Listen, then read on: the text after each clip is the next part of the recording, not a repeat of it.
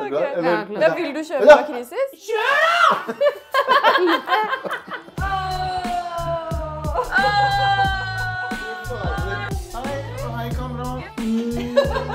Så hyggelig.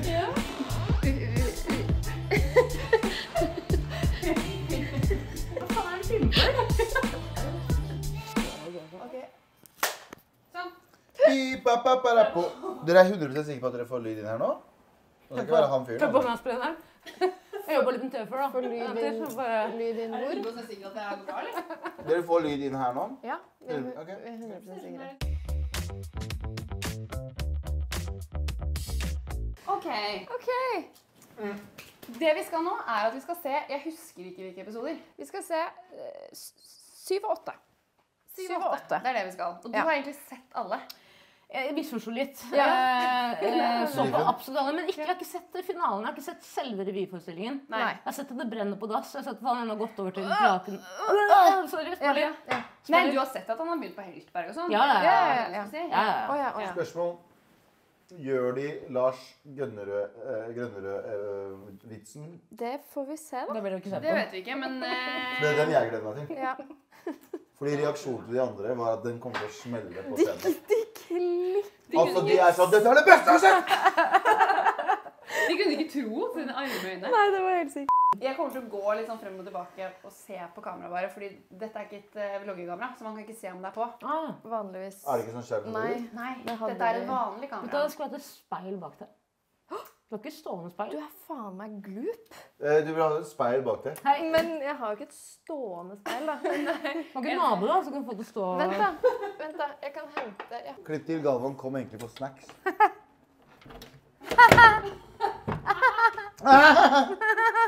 Eh, Men eh, vi, pleier å si sånn Hva er det, er det noe erfaring med revy? Ja, det har vi pleid å si. Jeg visste du kom til å spørre om det. Ja. Jeg har ikke drevet med revy selv, jeg er jo stokkjente, men flyttet til Oslo siste år på videregående. Ja, droppet ut to uker før russetida. Men var i liksom, krets, altså, det var i kretser hvor mye- vi var veldig opptatt av revy. Ja. Jeg kom aldri inn i den bobla, men jeg syns det var utrolig fascinerende å se på det fra utsida. Ja. Jeg? Ja. Og jeg var ikke i revy. Nei. Dere der? Men da eh, Kristin var, jeg var ikke. Men jeg gikk jo på nissen, da. Tre ikke og én. Ja. Det har ikke pleid å være tre revy og Og, én ikke, og en ikke. Ja, så jeg føler meg litt uh, mer hjemme jeg i dag. Men eh, og det jeg også er veldig spennende med det her, da, uten å dra det for langt ut nå, er det er veldig sånn borettslag Ja, estetikk. estetikk er over der. Ja, Ja. absolutt. Men uh, Hvordan vet, at det ikke, hvordan vet at Marina egentlig ikke er Robert Stoltenberg? Ja, det vet vi ikke. Det får vi aldri vite. Det får, vi aldri vite. Solar face. har det face. å det der er se på dette freeze frame-bevegelsen. Se på de øredobbene og liksom kjede og off det- Ikke noe BH. Hvordan var din stil på dette tidspunktet? Eh, Jeg var åtte år gammel. Jeg brukte en turkis poncho i veldig mange år. Eh, En turkis poncho og en gul shorts. Og sånn som Chris Medina. Sånn som Chris Medina. Og ekte. Ok. Eh, hvis dere sikkert inserter et bilde, så så jeg sånn ut. Da jeg, Ja. Ja. Altså du, ikke Det var det Tara. bildet. De er Ja, jeg, så, jeg så sånn ut. Ja, og Galvan, du så? Har, Sånn ut. sånn her ut. Ja. Har du sett et bilde av meg når jeg har brillene? Når jeg Ja, ja, ja, ja, ja. Det var akkurat da. Men det føler jeg er blitt et liksom, litt sånn kjent bilde. Ja, det er et kjent bilde. det kan vi ikke insert. Nei. Jo, er insert kjent bilde. insert det bildet der med supertighte jeans og den Nei, det er lenge etterpå, det. Ok, men insert her, da. Bare, bare, Nei, det er åtte år etterpå. Ok, ja, ja, men altså, Jo, jo, men bare for å se Bare for å det. se på, liksom. Ja. Det er grusomt det bildet. Galvan så på ekte ut som Tinder-svindleren. Ja, ja. Jeg så ut som jeg svindla folk på Tinder før det var Tinder. Jeg så ut som jeg, jeg så ut som jeg svindla folk på, på forum. Ok, rull filmen etter Ja, det. rull filmen. Det speilet er helt bra. Altså, jeg elsker den grafikken der. ja, Men den introen er jo fin. Ja, den er dritfett. Ja, at han så utenfor jentedoen, det er jo så nydelig. Nice. Det er veldig ekkelt. Charlotte Ja, det er litt kjedelig storyline med Charlotte. Ja, enig. Øyvind, ass.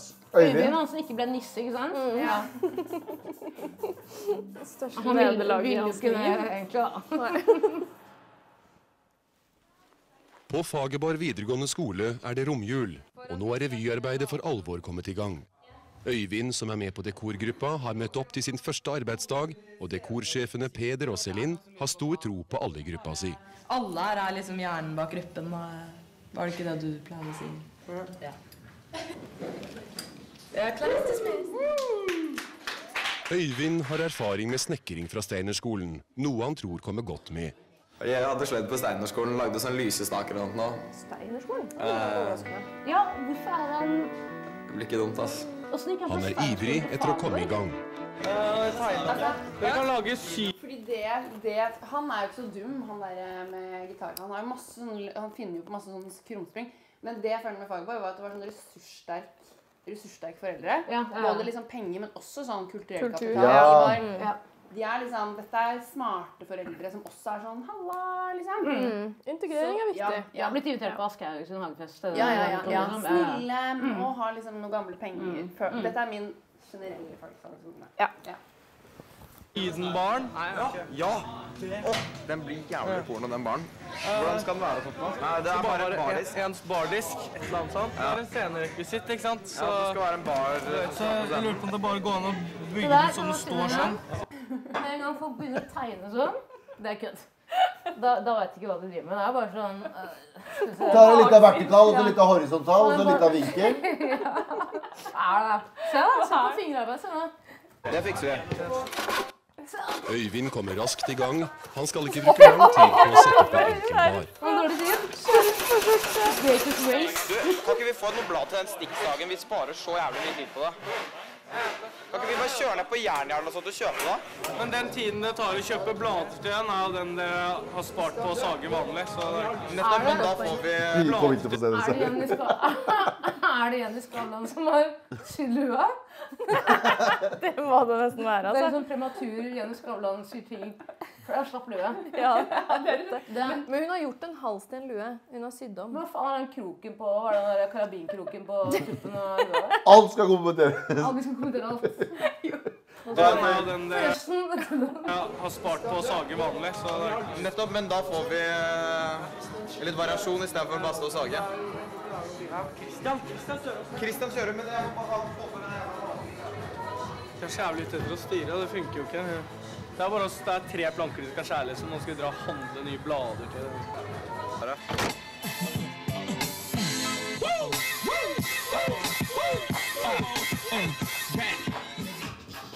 Ja, de har lappen liksom, alle sammen.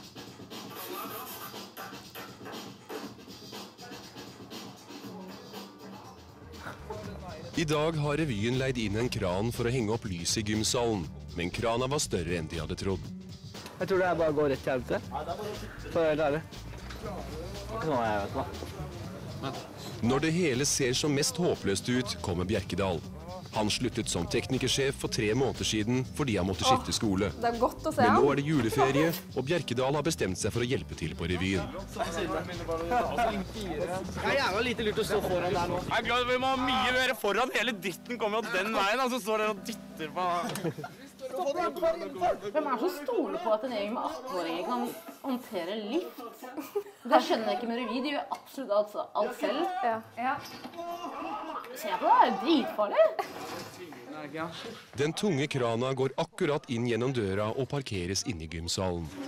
Liksom For dette tror jeg, på den tiden var det bare sånn rah, rah, Eller sånn var det bare. Og, og liksom sånn, de revysjefene sitter jo Det er jo de som sitter på det lånet på millioner og sånn, når de låner lydutstyr og sånn. Er det ikke det? Jo, jo, jo. Skolen jo. har ingenting med det å gjøre. Nei. De, de bare låner seg inn på skolen. Oh, ja. Ja, så det er liksom sånn, skolen er sånn vi egentlig med. Men liksom det her, nå når man ser det med våre bilder, så ser det jo helt sinnssykt ut. Ja, det er helt sinnssykt. Og du, får jo sånn, du blir jo livredd på deres vegne òg. Ja. For det er sånn, det er, det er to timer til revyen begynner, og dere har ikke, dere har ikke Du har ikke fått i lyftene? Lyftene har fått snø på seg. Ja, for Det stresser meg egentlig mer. Hvorfor ikke ta bort snøen før du tar den inn? For Ja, det blir vått inne. Enig. Det er sånn old man problems. Men Det er rart at ingen dør, eller liksom at det ikke blir Ja. en reell skade. Noen faller fra noen sånne sceneelementer de bygger der oppe og sånn. Ja, det er litt rart, faktisk. Er Eller at de faller ned. Jeg husker jeg var 25, jeg, så skulle jeg uh, filme noe på Rockefeller. Så begynte jeg å teipe ting i den øh, liften. sånn. Jeg har aldri fått så mye kjeft i mitt liv. Jeg. Og da var jeg 25. Hva faen, det er jo 17-åringer som skal Ikke sant? Spørsmålet er bare, den liften, er den leid av han rikingen? Han uh, liftkongen i... Ja, mot Gardermoen der. Ja, han som er sammen med hun der mokkababyen nå, fra Exxon Beach. Nei, det, nei, jeg vet ingenting Ja, det er en om annen det. episode vi skal se på. Ja. Men, eh, Han har en egen serie. Rikingen. Nei, Han er starta Oslo Liftsutleie. Søkkrik er jo egentlig sånn Haritas. Ok, dette er helt nytt Det for er meg. helt nytt for meg. Dette er innsikt jeg ikke har. Og jeg antar den liften er derfra. fall. Helt sikkert. Ja. Da ser vi det. Vi må jekke den opp. Ja, men det må i vater for at det skal funke. Det går ikke lang tid før Bjerkedal igjen inntar rollen som sjef. Når krana er på plass, gjør de klart for rigging av lys. Er vi i mål nå, eller? Ja. Er dere klare? Kongen er klar, alle er klare. Vi begynner nå. Det her er seriøse greier. Ja. I etasjen over skal Pernille og de andre skuespillerne gå gjennom lillefinalen. En sang som Pernille har hatt få problemer med inntil i dag.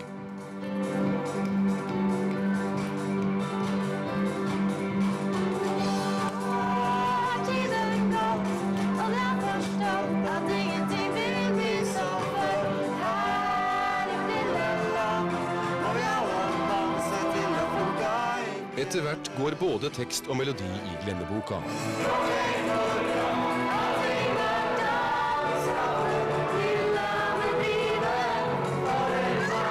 Even gjør det han kan for å få Pernille til å huske.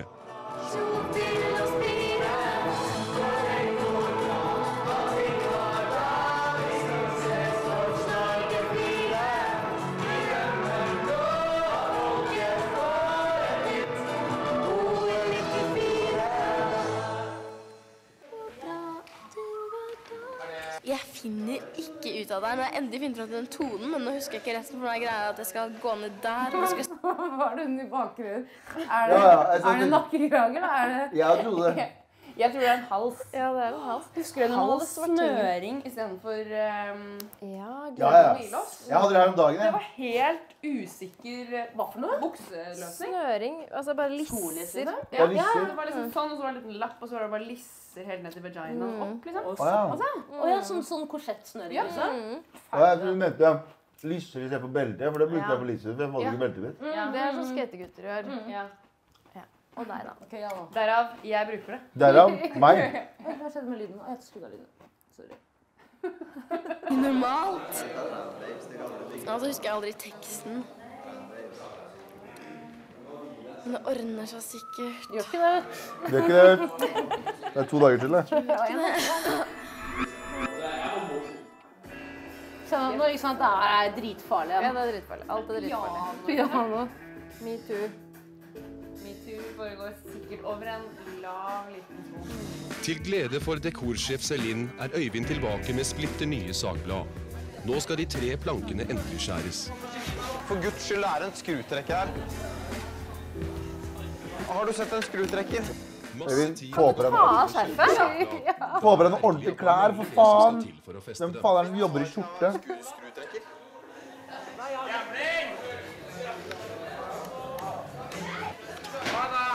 Tror du ikke jeg nesten klarte det, eller? Nå sitter den. Det er jo livsfarlig.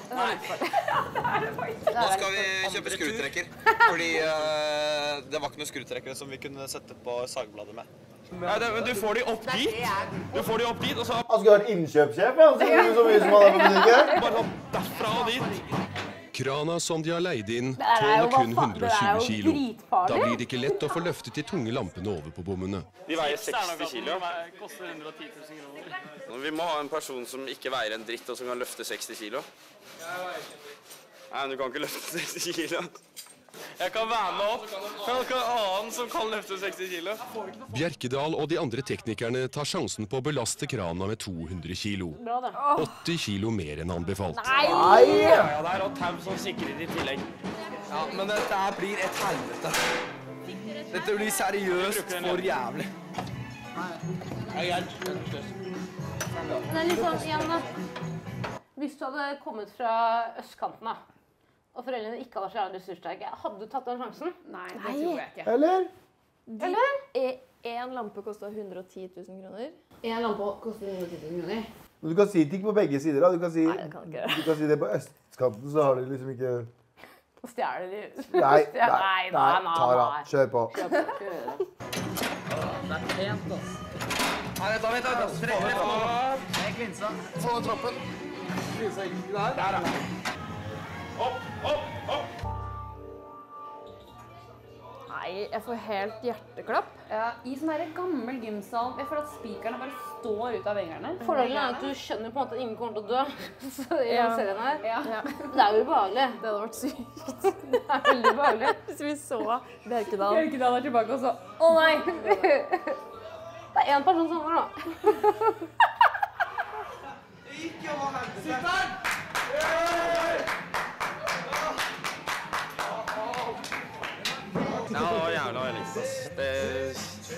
Nå ser det så jævla kult ut her. HMSU.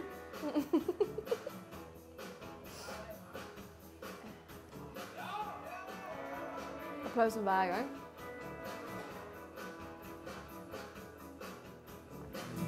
Jan har koreografert en dans til lillefinalen. Det gjør det enda vanskeligere for Pernille å få til sangen. For nå skal hun danse samtidig. Skjerf. Skjerf, skjerf, skjerf. Hvorfor er alle på den skjerfbølgen der? Det er sikkert jævlig kaldt henne, tror du ikke? Skolen har skrudd av strømmen for For det. Dritkaldt her. Men Siri Nilsen går jo i strap. Ja, og de to der er jo Det er skinnbekledning, det er det. Veldig forvirrende. Det her er veldig forvirrende.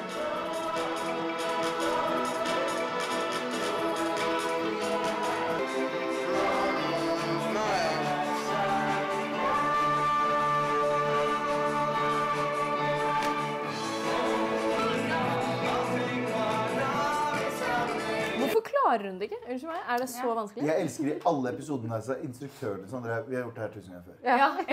Jeg sånn, dette her, det- det- det- We've done this before. I've been to the School of Arts in London. Been to- Og dere er bare sånn Stop. ja, Stop. this is, this is not for me. Jeg føler litt at etter at, eh, etter at Pernille takket nei til den Jesus-rollen, Ja. så føler jeg litt at revyen er imot henne. Ja. Ja. Skjønner dere? Ja. Og Det er litt sånn, Hvis ok. hvis du så gitt et råd til noen og de ikke følger det, og så, Ja. det helvete, så står du litt på siden sånn Ja. Nå føler jeg at det er litt det med Pernille. Ja, det Hun, sånn, hun knekker folk... litt under det presset, liksom. Ja, det liksom. tror jeg. Ja. Jesus, da. Men hun Jesus. Alltid Jesus med seg. Ja, hvis ikke Jesus til å det. Da kan ingen Pernille imponerer ikke instruktørene med sin opptreden.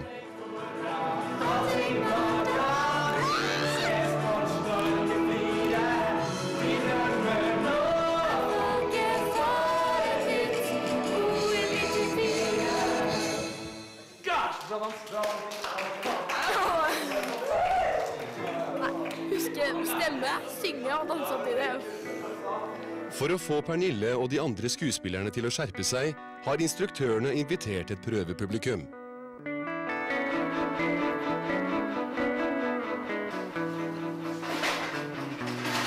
Unnskyld. Siden Øyvind startet med byggingen av baren, har det gått flere timer. Vi skal ha skrutrekkeren. Når verktøyet endelig er på plass, kan han vise hva han duger til som snekker. Vinter på den tiden. Ja, det var noe annet, altså. Ja. Heldigvis hadde de skjerf, da. Sånn cirka. Det må være jævlig skjerp. Sånn. Se her nå, skal vi se. Sitter den her sånn. Oh, Det ble helt perfekt, jo. Der er det perfekt, men det er litt skeiv. Ja, men det gjør ikke noe. Det er bare fett. Det skal, det skal ikke stå noe på disken. Bardisken var Nå er den der helt perfekt. Ja, nå er, vi, nå er vi i gang med baren, da. Nå er vi i boks. Nå er vi i hvert fall i gang med å få det i boks. Det er ikke så mye, det går bare fort nå, for nå er det, nå er det vanskeligste unnagjort. Det er å skaffe utstyret. Han sier han skal gjøre alt mulig rart, ikke til en dritt. Mens dekorsjef Peder fortviler, tar teknikersjef Bjerkedal en velfortjent pause. I mellomtiden skal de andre teknikerne få liften ut av gymsalen. Ja, snakk, snakk, snakk. Nei, jeg må komme nærmere. Ja, da, da. Det gikk greit å få krana inn i gymsalen, men ut blir det verre. Revysjef Nicolai Simmer har lånt foreldrenes bil for å få fart på sakene. En, to, tre. En, to, tre. En, to, tre. Kjør da, din dritt! Kjør! Kjør! Kjør! Nei, ikke, ikke kjør. En, kjør! Ikke den opp, litt ned, litt ned. Timmer! Det var litt for langt, Susann. Sånn, sånn, kjør igjen! Kjør! Nå! Kjør da! Faen! Faen! Det herper jo bilen helt, da. Gjør du det? Ja, selvfølgelig gjør jeg det. Det lukter så svidd og jævlig her. Det Problemet er jo ikke at bilen til Simmer ikke holder. Problemet er at den her er for høy. Og hvordan i helvete får ned den? Men dere må dytte ned, ikke sant? Nei.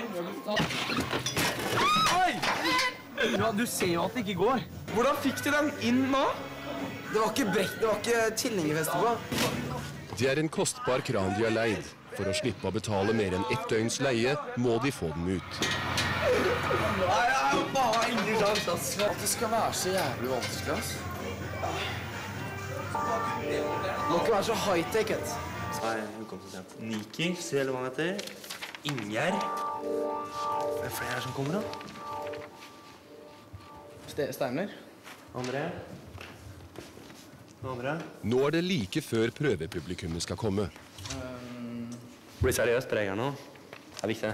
Og dere blir litt nervøse. Hele poenget. Ja. Jeg syns uh, det, er, det er noe når det er publikum, og det er noe som på en måte Nå kommer folk for å på en måte sjekke om det er bra nok. Da blir man sånn. Er det Pernille? Ja. Sånn blir man da. Er det Pernille? Det virker som Andreas og Martin har fått den effekten de ønsket. Tara bruker egentlig briller, men hun liker å bruke briller for ting er for tidlig for henne. Nervene har kommet hos Pernille, og forhåpentligvis kommer også konsentrasjonen. Jeg bare prøver å lage veldig sånn seriøst preg på tingene her. Sånn at f.eks. for eksempel Pernille blir litt nervøs. Bare er, de er ute etter Det var Pernille, ass. vi er Nå er det litt Pernille. sånn Fuck you! At du takket nei til Jesus-rollen, skal du faen meg få kjenne på det. Det siste hun trenger nå, er å bli litt nervøs. Siste? Andreas siste, ja. Ikke det første. Faen, de burde jo hype henne mer opp, ja. Ok. Men det ser jo veldig sånn ordentlig ut, da. Sånn skjemaer og penner og sånn. Så jeg håper at de skuespillerne føler at de må vise seg litt nå. Er det godt, da? Altså, Dette husker jeg at jeg gjorde når jeg spilte. At du gjorde hva? At Julian Hagemann og liksom de kule instruktørene kalte inn vennene sine. Mm. Så kom Jakob Oftebro og sånn. Og, sånn. Mm. Oh, shit! og så spilte man sånn ja, ja, ne, ne, ne. The Og nerves. så satt de, og så, Nå kan jeg, og så gikk vi. OK, takk. Og så satt de igjen. Og ga Å, liksom fy en fader. At sånn 19-åringer skal 19-åringer skal drive og dømme 18-åringer. Ja, men altså, Det var jo for at det skulle bli bedre, men det var Ja, ja, sånn men du vet at de gjør det litt for å liksom virke proffe også. Fordi Ja, ja. Dere kunne vel strengt tatt være der etterpå òg? Fordi da føler man sånn at de skal snakke veldig direkte personlig om hvor dårlige eller gode vi var. Ja, og det Det- tror jeg nok de gjorde òg. Ja. For jeg har også vært person som har kommet og sett. Sant? Men man sier jo bare Man sier jo noe stygt om noen. Nei, nei. Man sier sånn Hun må skjerpe seg på det. Mm. Ja. Ja, hore med øl, da.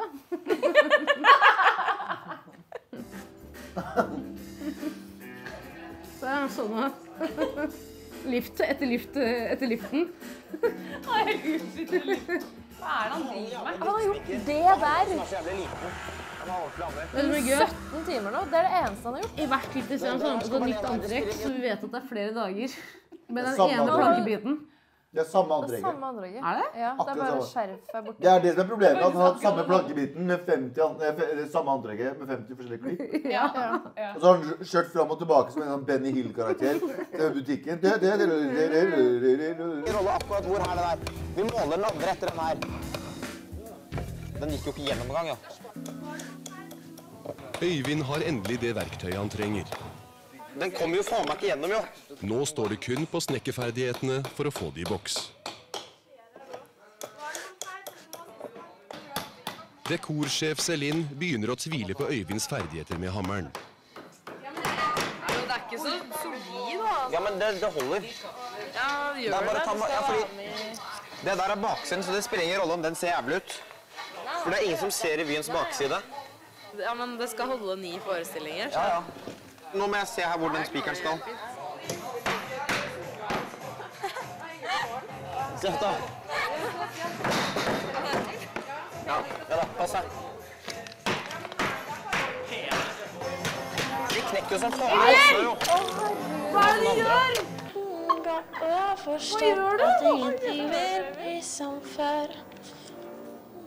Pernille har tidspress for å få tekst og dans til å sitte.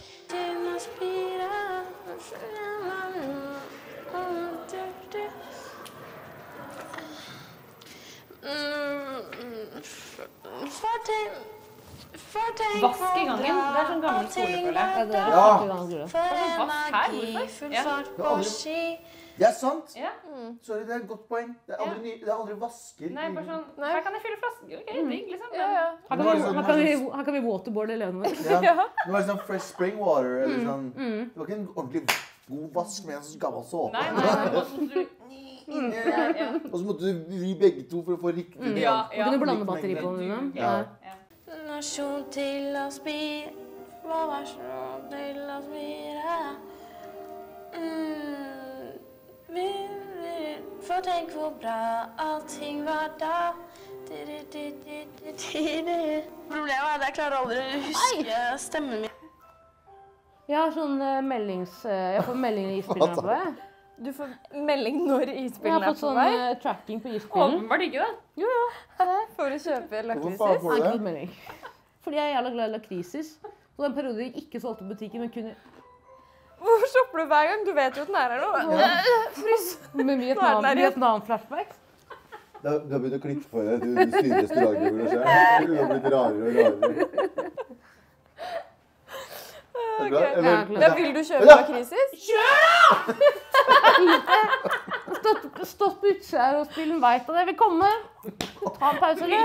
Vil du løpe og kjøpe- kjøpe? Du kan det. Tror ikke jeg rekker det.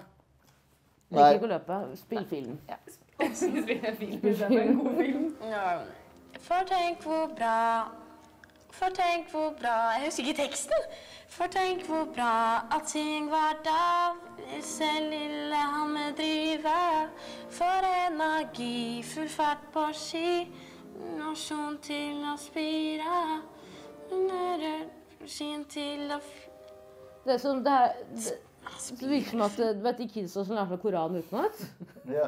og så vet de egentlig ikke hva de sier. Somaliere som er så arabisk. Ja. Kun Koranen. Så bare sier de masse sånn blablabla.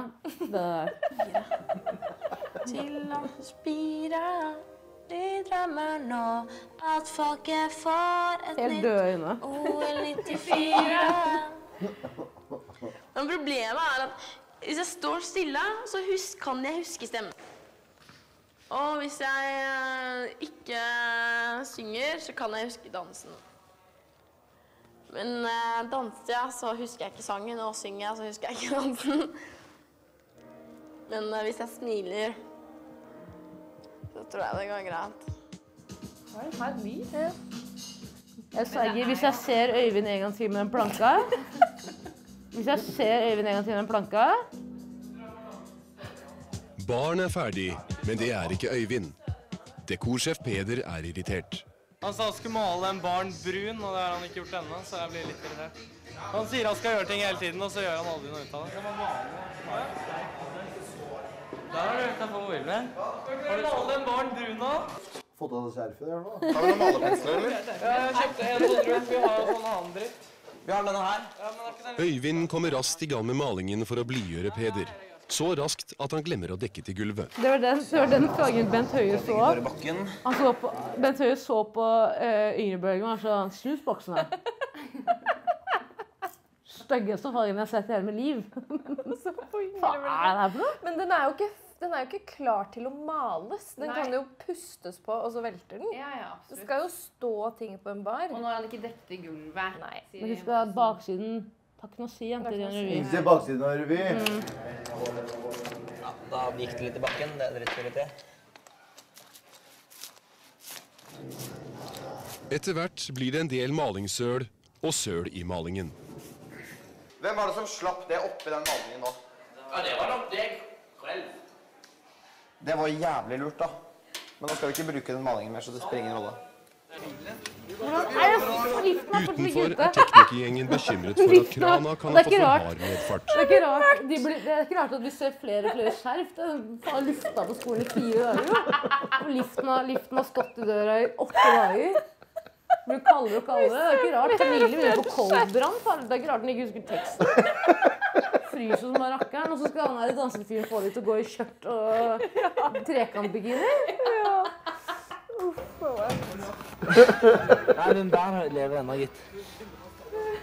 Nå har vi fucka Er det ingen foreldre her, liksom? Jeg skjønner at det er litt sånn skammodell at man ikke skal se foreldrene. Er det ingen foreldre her? Den er fortsatt ikke ute, og den må leveres tilbake. Ok, Det som er nøkkelen, er hvis vi klarer å få av den jævla kurven. Da hadde vi klart det. Ja, faktisk.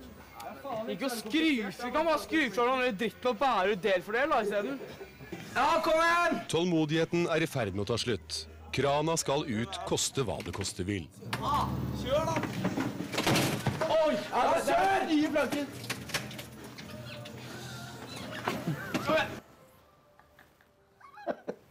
Det du som- du som bestilte den? Det har klikka for dette. her. Nei, faen, å, den stopper jo ikke. Det var pust.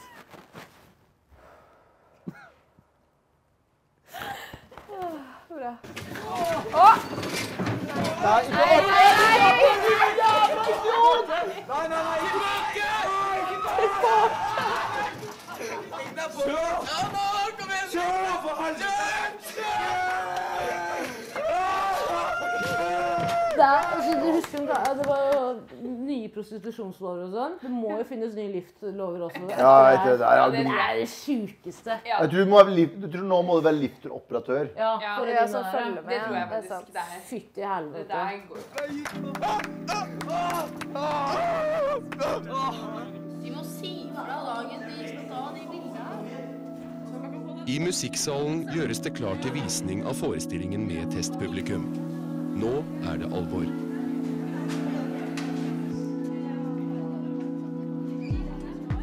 Der er Jenny Skavlan! Var det? Ja. Står der. Der står hun, vet du. Og Det er sånn Jenny Skavlan-bingo, det her. Ja. Veldig. Må chugge hver gang du ser en Skavlan. Blant prøvepublikummet er det også et ekspertpanel. Det er? Lars Joakim vinner av bingo i første sesong. Det er det. Chug! men- Men han var jo, det her var jo to år etter Big Brother, så her var han jo kjent. Ja, og det Han var jo er han her. Det er det som er stress for de. Nå trekker de inn litt kjendisvenner. Det, det her er, det vet ikke jeg hva, hva, er det her for noe? De er skal det sånn prøve. vise. Han i blå? Nei. Ja, det er Lars Joakim fra Big Brother. Husker du Big Nei, du var for Jo, jeg husker Big Brother. Han Første sånn- sesong. Han vant første sesong. Som også, han som ble sammen med Lisa Mona eller Mona Lisa? Nei. det heter? Nei. Nei, de, er, de vant ikke, men Anne han Mone der vant. Han er Mona. Nei, han er jo to Han er 17 år gammel, da. Ja, han var sikkert 21, da. Da var han på det. Han hadde dreads, men han hadde egentlig klippet de av. Og ville ikke si det til produksjonen, så han hadde bestemt noen fake dreads gjennom hele produksjonen tok den av midt i. Helt mot slutten. Han hadde sydd dreadsene fast i en lue. Ja. Og gikk med den lua. For det var liksom Nei, Det for han var var redd for at han kom til å bli kasta hvis han sa ifra. For han hadde klippet dreadsa rett før de sa 'du er med'. Ja.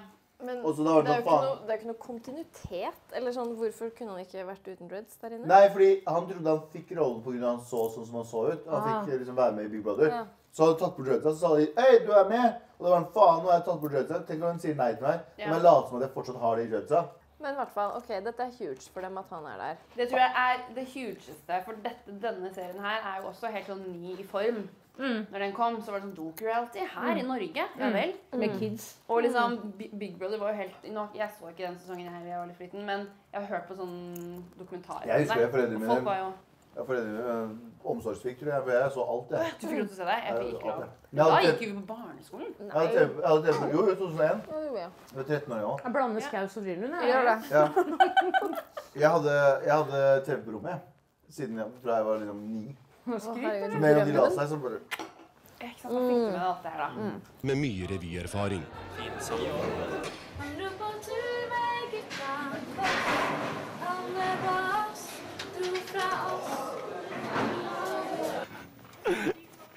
Helvete. Det er bare hydraulikken som har kortslutta litt. Ja, vi fikk ikke en lift, men vi herpa jo halve gymsalen og halve bilen min og halve Nå gjenstår det å se om kranet har tålt den tøffe behandlingen og fungerer som den skal. Ikke mye frese enn hydraulikken her nå, altså. Hva skjer hvis den ikke funker? Nei, da har vi dritforsikring. Fy faen, det er kjipt om det herper. Hvor mye koster en sånn lift, da? Skulle jo ødelagt da vi ga det tomt. Ja, prøver å kjøre litt. Ja, nei, nå er det utover, da. Ja, innover. Innover, utover. Ta den enda lenger oppover, så ser vi om den der horisonteringsdritten funker. Ja, gjør det. Ta den oppover. Oppover. Nei, da se på, se på vogna om den vipper. Ja, den vipper, den vipper. Vipper den? Ja, den vipper. Ja! Åh, det var jævlig digg, ass. Åh.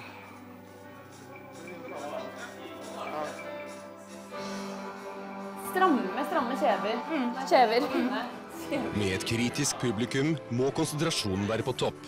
Noe som preger både Pernille og de andre skuespillerne.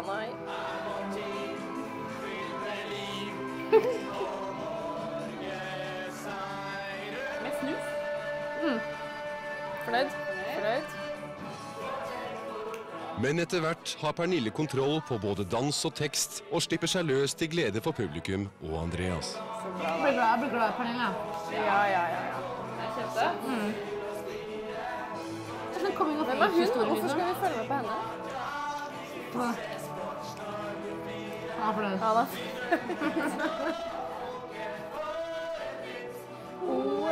Det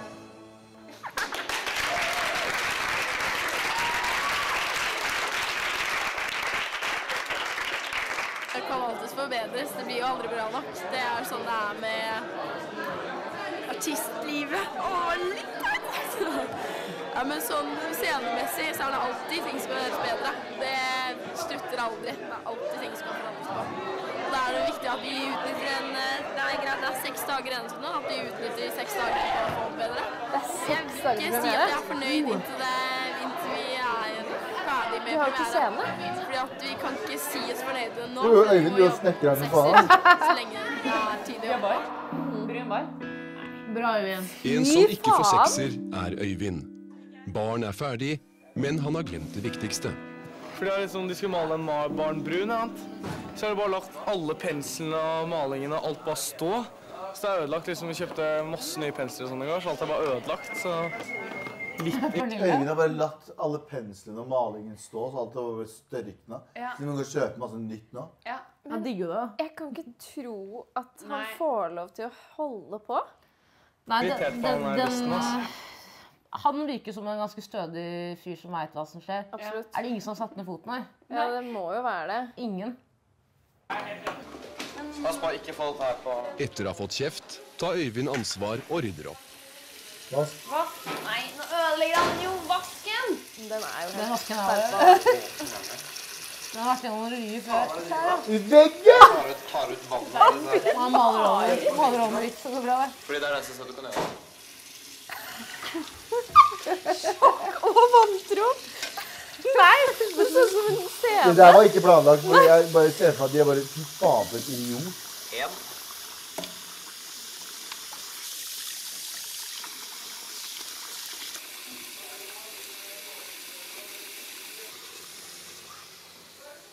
Øyvinds arbeidsdag er over. I morgen er det en ny dag på dekorgruppa. I mellomtiden får vi håpe at det ikke renner over for dekorsjef Peder.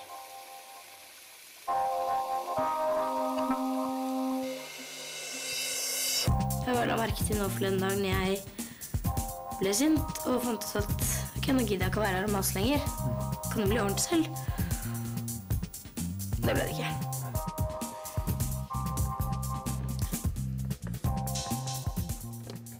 Det bare det som er peak?